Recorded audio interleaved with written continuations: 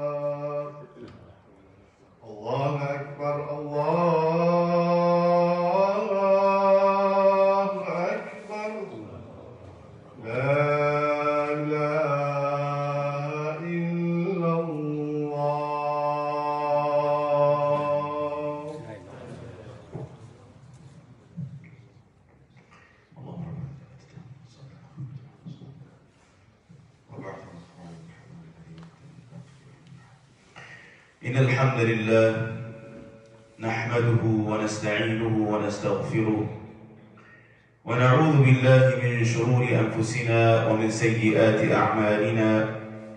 من يهده الله فلا مضل له ومن يضلل فلا هادي له. وأشهد أن لا إله إلا الله وحده لا شريك له. أنزل القرآن هدى للناس وبينات من الهدى والفرقان.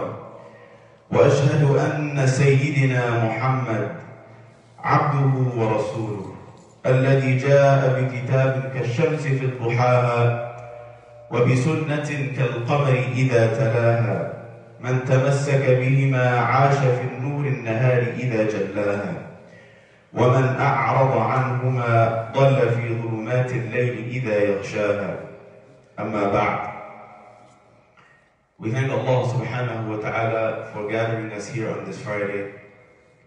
For as many of us know, from Friday to Friday is kafaratu sayyat. And we thank Allah subhanahu wa ta'ala for making us from amongst those who live today. Because as all of us know, there were people who we prayed with last Friday, and the Friday before that, and the Friday a month before that, and the Friday a year before that, and they are not present on this day. And we thank Allah subhanahu wa ta'ala for making us from amongst the greatest of all ummahs, the ummah of Muhammad sallallahu alayhi wa sallam. If we look at today's society, if we look at the situation of today's world, we find that in every single corner there is chaos. In every single corner there is fasad. In every single corner there is evil. And us as Muslims, we ask ourselves, how did we, being the flag and torchbearers of Muhammad sallallahu alayhi wasallam, being the ones who carry his legacy, being from the greatest ummahs of all time, how did we allow the world to become in such a situation? And we look at one of the many causes to this, and we see that there are no true representatives of Islam in today's time. And upon hearing that, many of you will say, we have scholars, we have leaders, we have people that we trust and that we follow. But how many of us ask, what is the intention behind those who lead? And what is the connection between those who lead and Allah subhanahu wa ta'ala? And what is the understanding of those who lead and the power that Allah subhanahu wa ta'ala has bestowed upon them? Allah subhanahu wa ta'ala gives us a very beautiful title in the Quran. خير أمة أخرجت للناس. The best of mankind that Allah subhanahu wa ta'ala has put on this earth. But how many of us live up to that expectation? And many of us, upon taking in the situation and seeing what goes on in this world, we ask a question that has been asked many times by many people before us. Mata Nasrullah. There are people in Kashmir who are dying as I speak. There are people in Yemen who are starving as I speak. There are people in Palestine who are being occupied as I speak. Mata Nasrullah. And Allah subhanahu wa ta'ala's answer to this question, Ala inna Nasrullahi qareeb. Do you not believe, do you not understand, do you not know that the help of Allah subhanahu wa ta'ala is always near? But when is it near? And why is it that we sit in question, where is the help of Allah subhanahu wa ta'ala? Because when we question, that means that there is doubt in our hearts. In today's khutbah, my goal is to align and to allow all of us to understand when and where the help of Allah subhanahu wa ta'ala comes. How do we make ourselves deserving of the help of Allah subhanahu wa ta'ala? The first of examples is the best of any example that can be given, and that is the example of the Prophet Muhammad sallallahu alaihi wasallam. We all know that in the life of the Prophet Muhammad he was tested with many trials and tribulations. But every single time, because of his tawakkul in Allah subhanahu wa ta'ala, Allah not only helped him, but He elevated him. We look at the Battle of Hunayn, a battle that comes after the Muslimin have won the Battle of Badr. And they had partial success in the Battle of Uhud. And so many battles before have allowed them to build confidence. And now the day of Hunayn comes, and the Prophet Muhammad has a, a massive army compared to what they usually have. To the point that some of the Sahaba say, لَمْ نُغْلَبَ الْيَوْمِ الْقِبْلَةِ Today there is no way that we will lose from the amount of people that we have, from the vast size of this army, from the plethora of Muslimin. But we know how this battle ended. Allah subhanahu wa ta'ala says in the Quran, بعد أعوذ بالله من الشيطان الرجيم ويوم حنين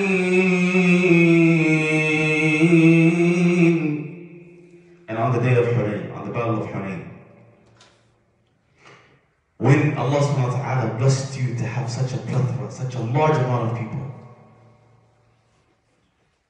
but it served you or gave you no victory.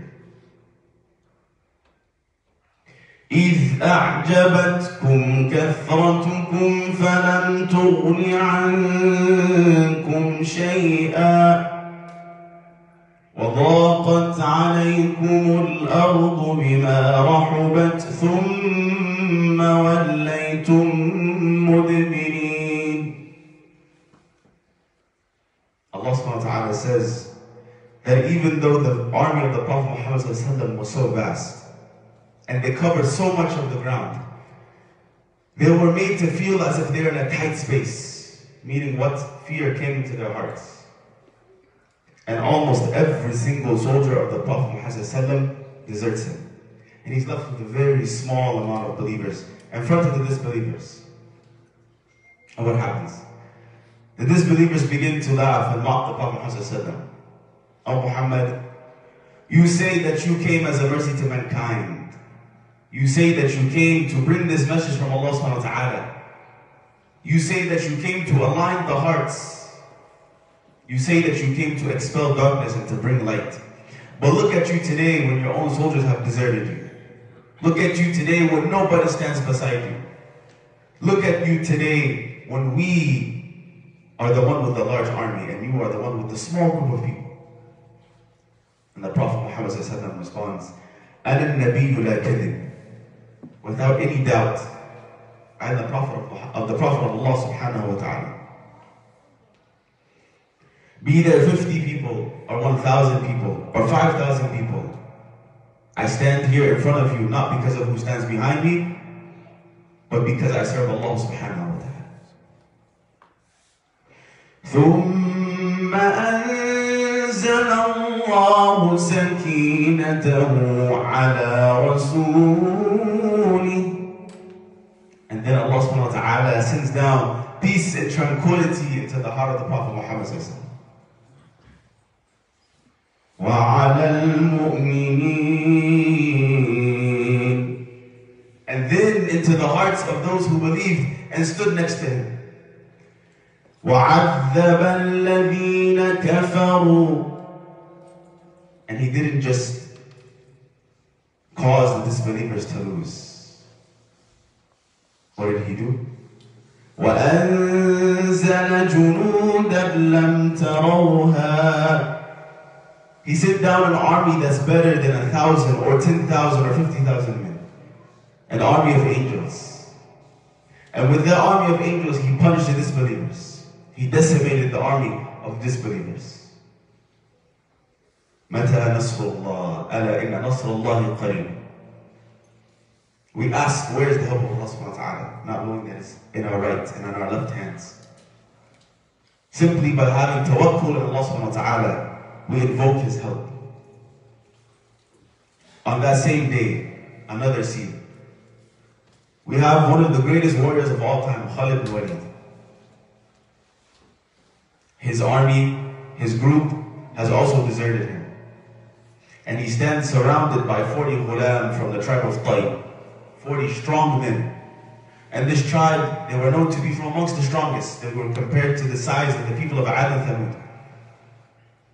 And so they surround Khalid and they tell him, Ya Khalid, Ya Saifullah, people fear you. People run the opposite way in the battlefield when they see you. But today we outnumber you 40 to 1. And so we give you two choices. Leave this religion of Islam. Take away support from this Prophet Muhammad sallallahu alayhi wasallam. Denounce your belief in Allah subhanahu wa ta'ala and we will allow you to live.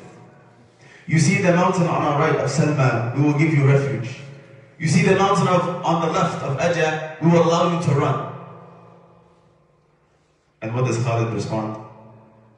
لا إلى سلمى ولا إلى أجا ولكن إلى الله الملتجى حسبي الله وكفى I refuse to run to the Mount of Salma. And I refuse to take refuge in the Mount of Ajah. Instead, I put my trust in Allah subhanahu wa ta'ala, and He is the one who will suffice and protect me.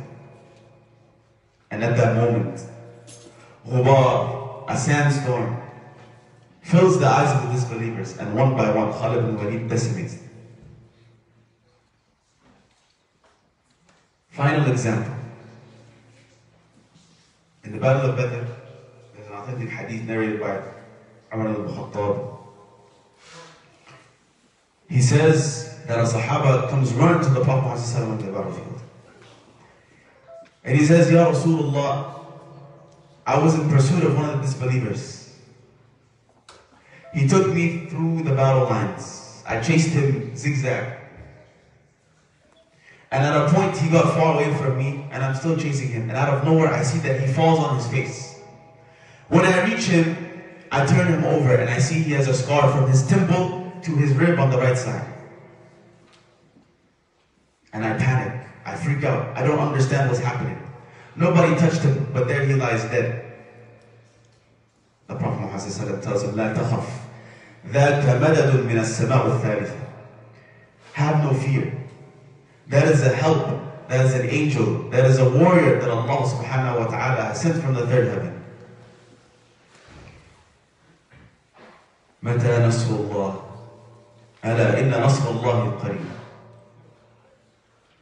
ta'ala tells in the Quran إن تنصروا الله ينصركم ويثبت أقدامكم We hear this statement إن تنصروا الله If you give aid to Allah subhanahu wa ta'ala then He will give you aid and we ask ourselves does Allah subhanahu wa ta'ala need our aid? Does Allah subhanahu wa ta'ala need our help? Does Allah subhanahu wa ta'ala need our effort? And we see in another place Allah subhanahu wa ta'ala asks us, من ذا الذي يقرض الله قرضا حسنا فيضاعف له أضعافا كثيرة Who would like to give Allah subhanahu wa ta'ala a good loan so that He can multiply for him? Does Allah subhanahu wa ta'ala need from our wealth? But Allah subhanahu wa ta'ala desires and wants to see from us our effort. Allah subhanahu wa ta'ala desires and wants to see from us our tawakkul, our trust in Him.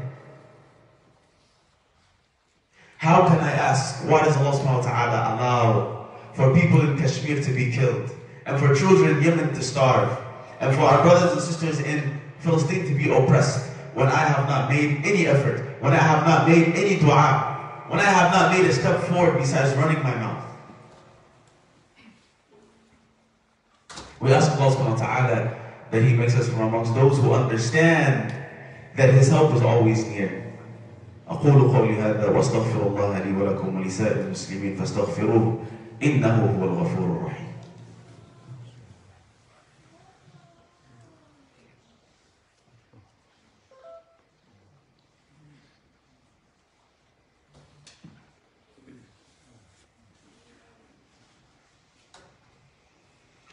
بسم الله والحمد لله والصلاة والسلام على رسول الله. We hear these examples, and to many of us, it sounds like a fairy tale. To many of us, it sounds like something that could never happen in the 21st century. That Allah subhanahu wa ta'ala will send angels down to aid those who are in need. That Allah subhanahu wa ta'ala will send down something miraculous that none of us can imagine. And we have this belief, we have this way of seeing things out of weakness of Iman. We doubt the power of Allah subhanahu wa ta'ala.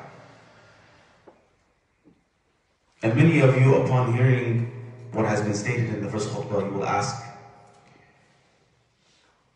how do we invoke the help of Allah subhanahu wa ta'ala? How do we help our brothers and sisters who are being oppressed? How do we find leaders who are not from amongst the people who Allah subhanahu wa ta'ala says, يَقُولُونَ بِأَفْوَاهِهِمْ مَا لَيْسَ فِي قُلُوبِهِمْ They say with their mouths that which is not in their hearts. There's a beautiful hadith where a Sahaba of the Prophet Muhammad says, قعدنا نفر من أصحاب رسول صلى الله عليه وسلم فتذاكرنا وقلنا لو نعلم أي الأعمال أقرب إلى الله لعملناه.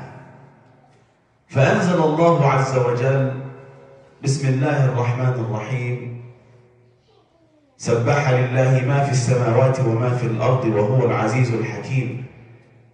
يا أيها الذين آمنوا لم تقولون ما لا تفعلون؟ كبر مقتا عند الله أن تقولوا ما لا تفعلون. إن الله يحب الذين يقاتلون في سبيله صفا كأنهم بنيان مرصوص A group of Sahaba is sitting with the Prophet Muhammad sallallahu alaihi wasallam. And one of them asked, Ya Rasulullah, if there was one action that could bring us closer to Allah subhanahu wa ta'ala, if we only knew we would do it. And before the Prophet Muhammad sallallahu can respond, Allah subhanahu wa ta'ala sends down wahi upon him. That everything in the heavens and the earth praises Allah subhanahu wa ta'ala because He is the mighty and the wise. O you who believe, why is it that you make claims that you would do so and so when you have no plan of following through? Indeed, it is greatly hated by Allah subhanahu wa ta'ala for a believer to make a statement, to say he would do something or she would do something when he has no intention of doing so. What is loved or beloved by Allah subhanahu wa ta'ala, what will bring you closer to Allah subhanahu wa ta'ala, is striving and struggling and fighting in His path, united. And the example of buildings, of structures joined together with no gaps in between is what Allah subhanahu wa ta'ala gives. So this is one of the answers to many for the question that you will ask of how do we invoke the help of Allah subhanahu wa ta'ala? How do we help our brothers and sisters who are being oppressed? How do we help ourselves in our communities when we are weak in Iman and we are weak in understanding of Islam? It begins with unity. It begins with loving the person who is sitting next to you only and solely for the sake of Allah subhanahu wa ta'ala. It begins with trusting and understanding وَمَكَرُوا وَمَكَرَ اللَّهُ وَاللَّهُ خَيْرُ الْمَاكِرِينَ Everybody has a plan. Every oppressor has a thought or an idea or an ideal and a goal that he or she wants to achieve. And they plan. And they will continue to plan till the day of judgment. But Allah subhanahu wa ta'ala has planned and will plan, and He is the best of all planners. And in the end, it is His plan that will be successful. But we will not. We cannot gain anything. We cannot gain the upper hand. If when I hear somebody say that, you know what, this and this happened today in Palestine, and instead of immediately making dua, instead of immediately asking, Oh Allah, help those people, Oh Allah, strengthen those people, Oh Allah, give me the ability to help them whatever manner, I say, you know what, that's true. But in my country, so and so is happening. What was so special about the Prophet Muhammad? What made him the best man to ever walk on this earth? That he was the most selfless human being to ever exist. He had no personal vendettas. He had no selfish connections. He never put himself before anything or anyone. And because of that, he became the best human being to ever walk on the face of the earth. We ask Allah subhanahu wa ta'ala that He makes us from amongst those who truly implement the understanding of deen. I cannot tell you how many people come and they say,